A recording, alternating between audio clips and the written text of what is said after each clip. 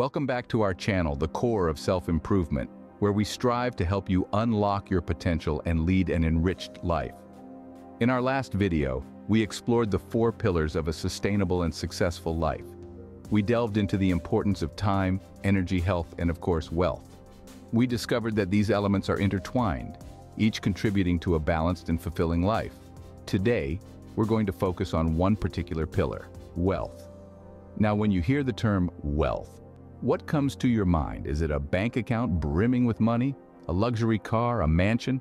Or is it something more profound, something that's not merely materialistic? As we delve deeper into this topic, we'll challenge the conventional understanding of wealth and expand our horizons. We'll explore the many faces of wealth and how they play a part in shaping our lives. Wealth is not just about financial prosperity. It's a multifaceted concept that transcends the material realm. And that's what we're here to uncover. So, sit back, relax, and join us on this enlightening journey as we delve into the true meaning of wealth. Let's get started. Have you ever stopped to consider what true wealth means? It's a question that may seem simple on the surface, but as we peel back the layers, we find it's far more complex than we might we might initially think. In our society, wealth is often seen as measure of success. It's used as a yardstick by which people compare themselves to others. It's a concept that's deeply ingrained in our collective consciousness, a symbol of status, power, and influence. But if we pause and reflect, we can that this viewpoint is only a fragment of the larger picture. When we dive into the essence of wealth, we discover it's not exclusively about the accumulation of money. Sure, money is a part of it. It, it's undeniable that financial stability can provide a certain level of comfort and security. But it's not the be-all and end-all, wealth. Wealth is a multifaceted concept. It's just the size of your bank account, the car you drive, or the square footage of your home. It's also about the richness of your experiences, the depth of your relationships, the breadth of your knowledge, and the extent of your impact. It's about living a fulfilled life, one that's abundant in all the things that truly matter. For some, wealth may mean having enough resources to meet their needs and the of their loved ones. For others, it could mean the freedom to pursue their passions without worry. Yet for others, it might be the ability to make a significant difference in the lives of others. Wealth, a subjective term, and its meaning can shift dramatically depending on who you ask. It's a profound concept that extends beyond the confines of materialism and ventures into the realm of the intangible. So as as we embark on this exploration of wealth, let's remember to keep an open mind. Let's challenge our preconceived notions and allow ourselves to view wealth from a variety of perspectives because, ultimately, wealth more than just money. Wealth can take on many forms. Let's delve deeper into that thought. But don't go anywhere just yet. Stay tuned until the end of this video to uncover the secrets of true wealth and how you achieve it. You won't want to miss this. When people think of wealth, money is often the first thing that comes to mind. This is a common perception, and it's not without reason. For centuries, money has been a universal symbol of wealth. It's a tangible, measurable representation of one's financial status. But the concept of wealth as money is much more layered than it may initially seem. Let's delve into this concept and explore the reasons why money has become so synonymous with wealth. The most obvious reason is that money is a means of exchange. It's a tool that allows us to buy goods and services, from the basic necessities of life to the luxuries that we desire. The desire for financial security is another driving force behind the pursuit of money.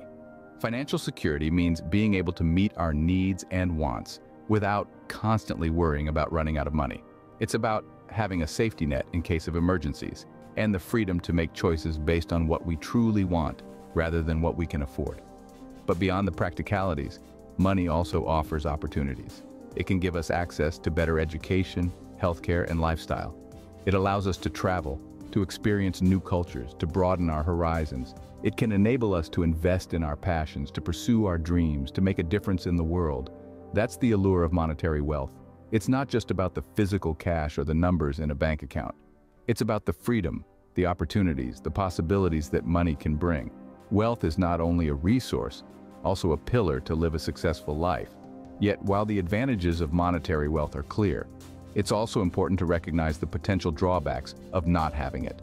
Without financial resources, we may struggle to meet our basic needs, let alone pursue our dreams.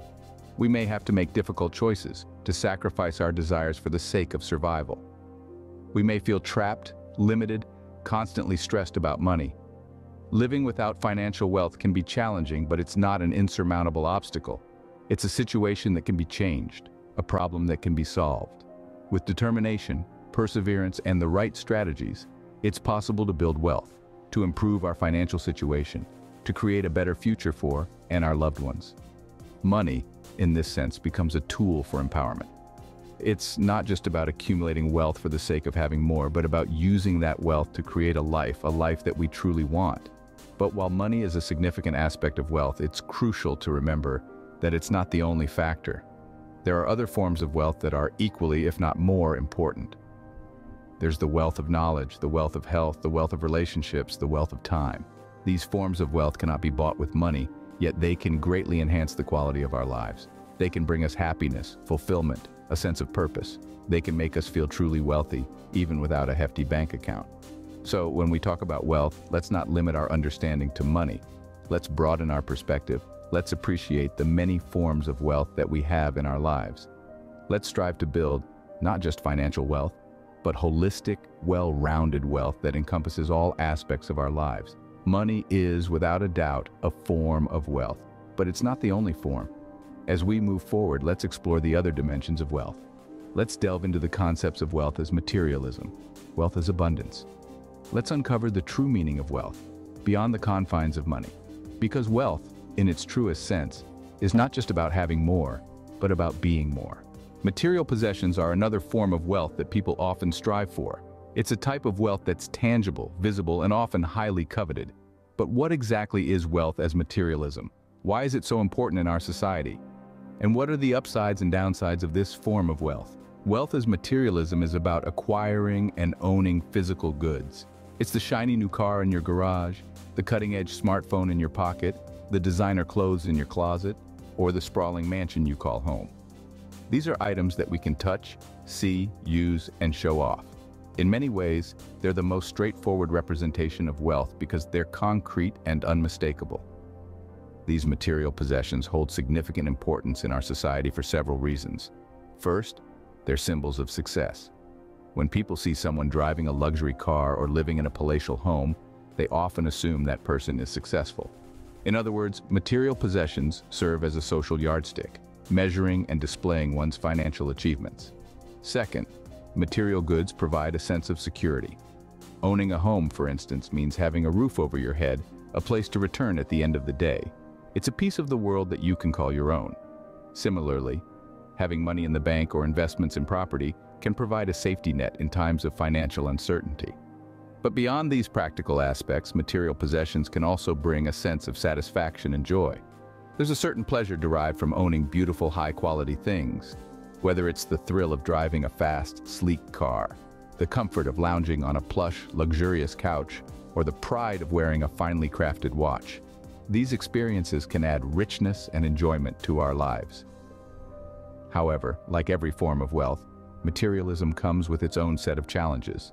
The desire for material possessions can easily slide into excessive consumerism, where the pursuit of the new and the next becomes an endless, unsatisfying cycle. This obsession can lead to financial stress, envy, and a constant feeling of inadequacy, as there's always something bigger, better, or more fashionable just around the corner. Moreover, the focus on material wealth can overshadow other forms of wealth, such as emotional well-being, relationships, and personal growth. When we're constantly chasing after the latest gadget or the most expensive designer wear, we may neglect the things that truly enrich our lives. Love, friendship, learning, and self-improvement.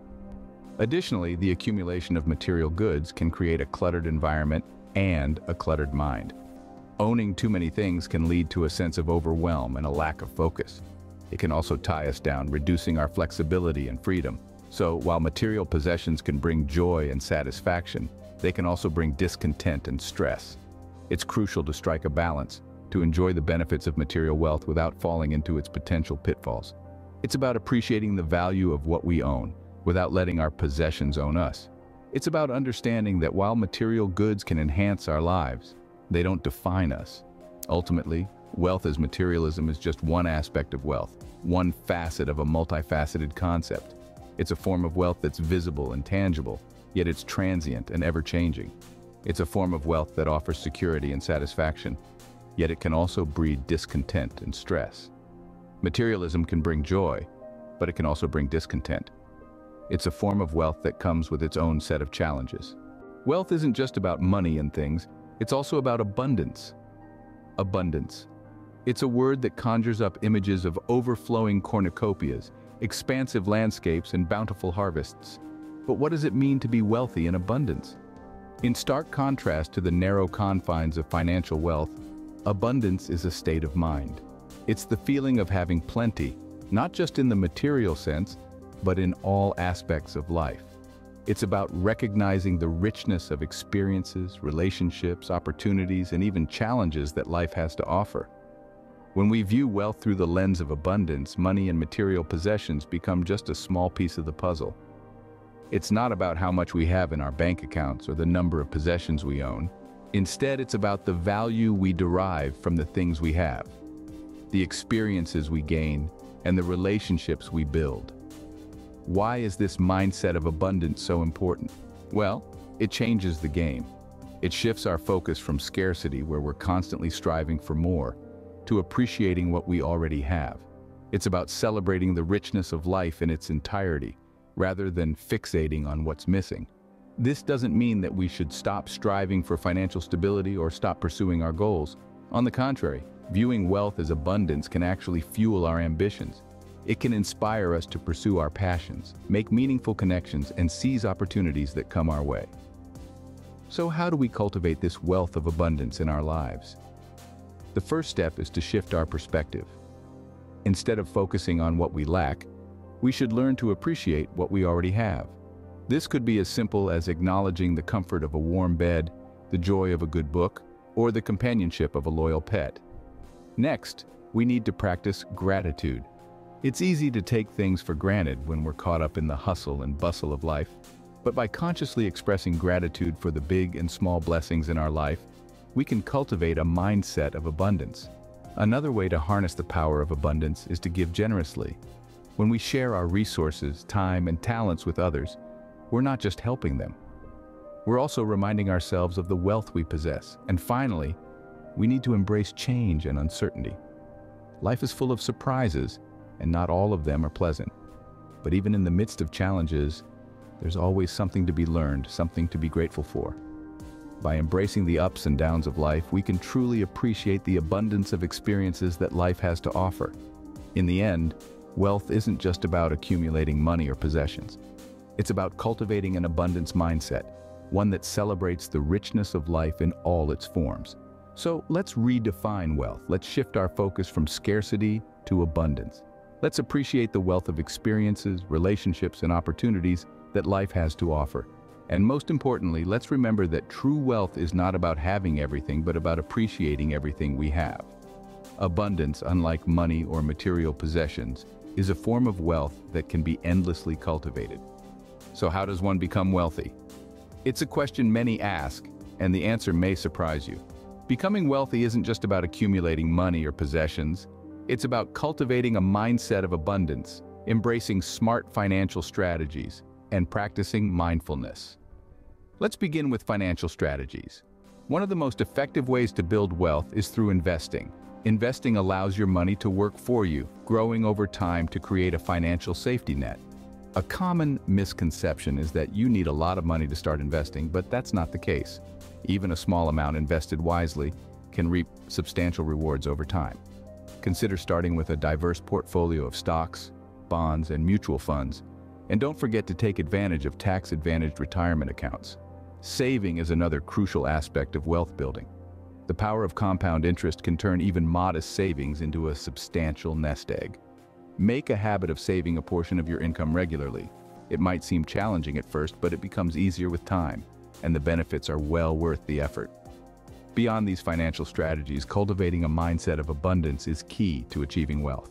This means seeing the world not as a place of scarcity, but as one filled with opportunities. It's about recognizing that there's enough for everyone and that success doesn't have to come at the expense of others. Cultivating an abundance mindset also involves being grateful for what you have, while also aspiring for more. It's about appreciating your current circumstances, even as you work towards improving them. This mindset encourages positivity, resilience, and creativity, all of which can contribute to wealth creation. Next, mindfulness practices can play a crucial role in your journey towards wealth.